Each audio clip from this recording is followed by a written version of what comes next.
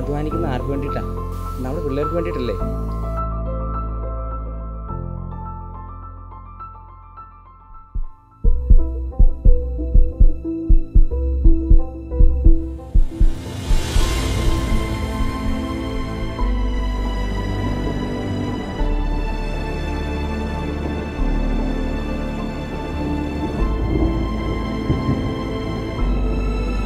പ്രതിസന്ധി ഘട്ടത്തിൽ ദൈവത്തിൽ ആശ്രയിക്കുവാനുള്ള കരുത്ത് നമുക്ക് എവിടെയോ